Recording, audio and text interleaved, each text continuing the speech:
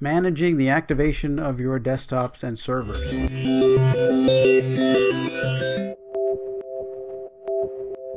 Hey there, this is Tom, Tom's Tech Show. Today, we're going to cover something called KMS, which allows you to easily manage and keep your systems activated with uh, Microsoft. So, it was one of the things I had kind of a hard time trying to describe and get people to understand.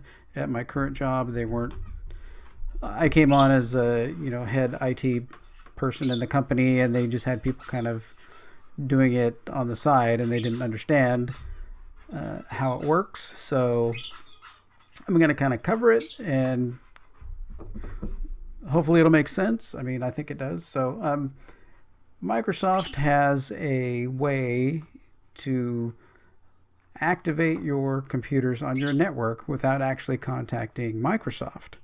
So, so what happens is you have these desktop clients that are on your network and you have some servers on your network.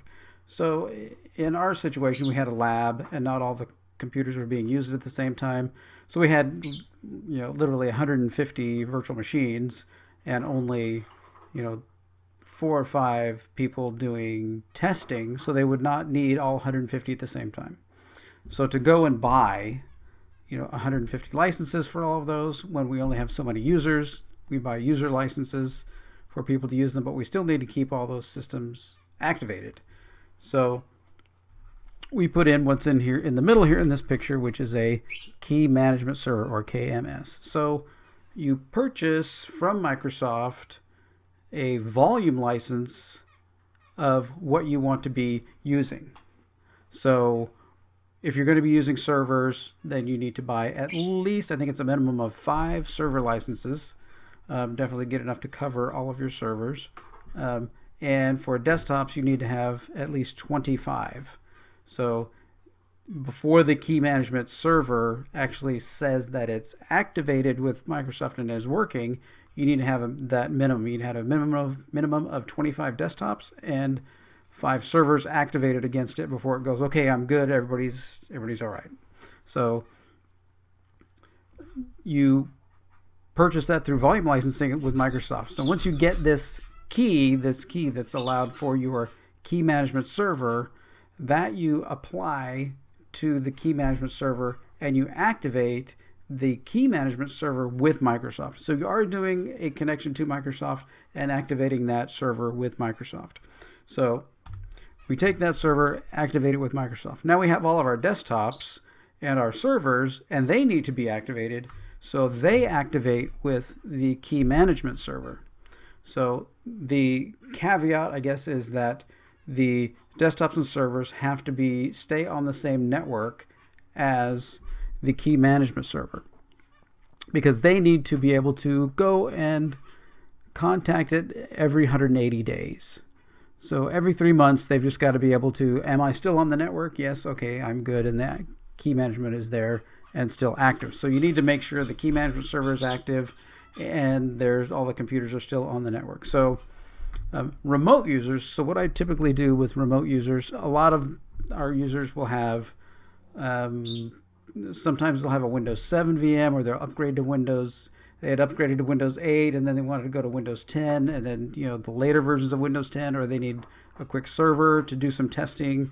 Um, what I'll have them do is VPN in to our system and then over that VPN tunnel they can actually activate their box. And they need to know that at least once every three months they need to be on the network VPN'd in and they can go and connect in and be able to activate their system. Okay, now that all this is in place and running, there's some things that we can do um, when a system comes up.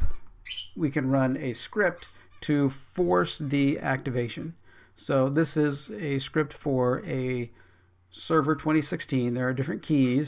So this is what kind of throws people off when it's on the network. All your computers that are inside your network use the exact same key this key is actually the exact same key that everyone who in the world who is doing this uses. You all use identical keys. The the main part is that key management server that's activated with Microsoft. And these have to be on the same network as you know your key management server. You could probably you could move to a different network and reset your change what your key management server is pointing to, and then activate on a different network um, if there was a key management server there. But you know that's you know neither here nor there at this point. So we run this license manager VBS script, and we give it the set key management server switch and give it what the key management server is going to be. I've just made up one here. You, would in your network you would set up. And the thing is, the key management server is very, very lightweight. It's a very small service that is installed on the server, so often you will just add it to a domain controller or the email server or something, typically a domain controller because it's very lightweight. It doesn't take up much many resources at all. So and it needs to be something that everybody can contact all the time. So adding it to a DNS server makes a, a lot of sense. Um, Active Directory controller, DNS server. Then next we add the key that we're going to activate this server with, and that's here. Now these keys can be found um, on a chart that gets updated at Microsoft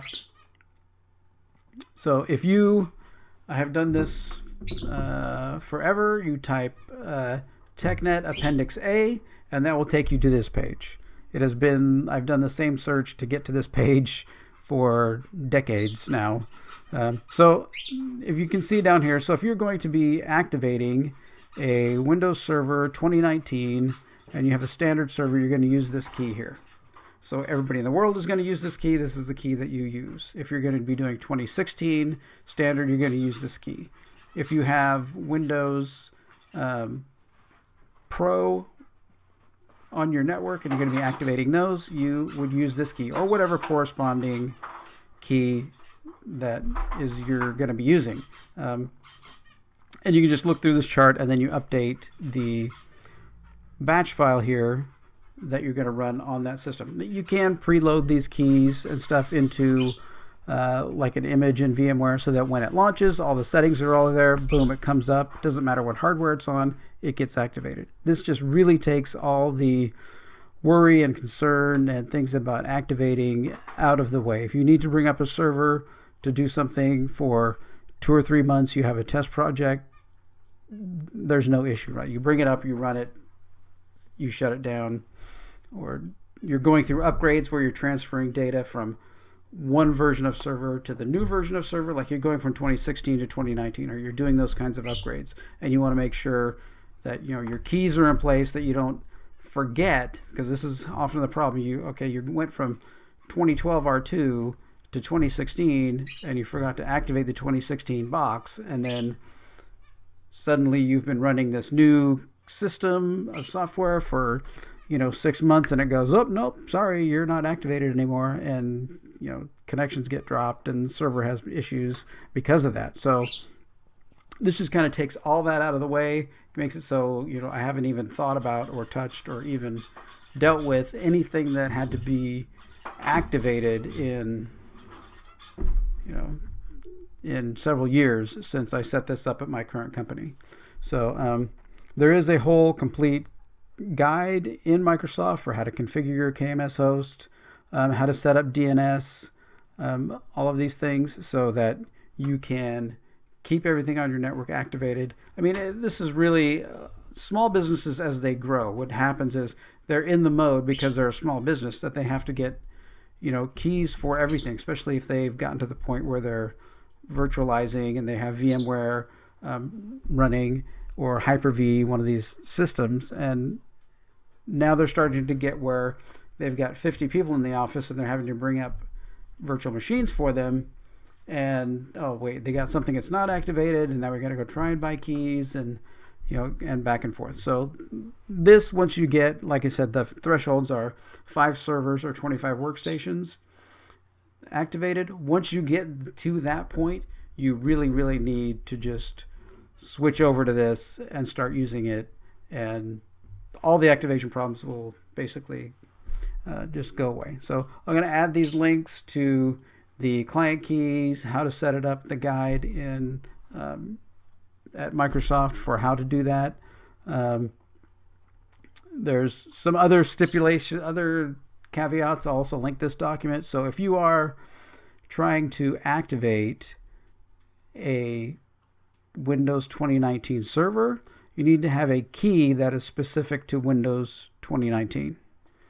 So if you have a volume license key that is for 2019, you can host that key on 2019, 2016, and 2012 R2, and you can activate pretty much everything underneath that from 8.1 to 10 uh, to Server 2016, Server 2019, all those different versions. Windows 7 and Windows 7 Enterprise, it goes back that far. But if you have a server license for volume license key for Server 2016, you cannot activate a 2019. So you cannot go forward, you can only go backwards.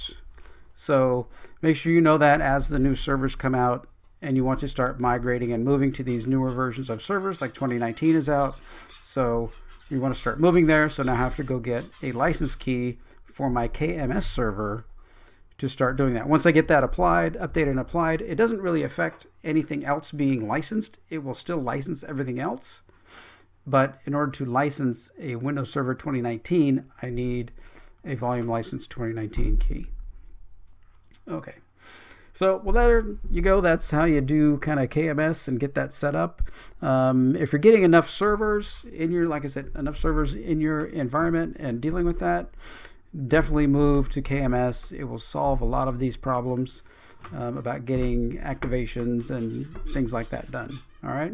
Well, I make videos like this all the time about technology and things that I do for my kind of my day job that I I do, and I'm just trying to get this as much information out, things that I know, kind of document everything that I do on YouTube. So if it helps you, great. Give me a thumbs up. Um, if you like more videos like this, then just follow my channel. There'll be more videos coming. Um, I also do videos about movies and TV shows that I like, and I do movie or videos about um, photography because that's also one of my passions um, and stuff. So if you like any of that stuff, just subscribe and you'll get all that. All right. Well, thanks for watching this today, and have a good one.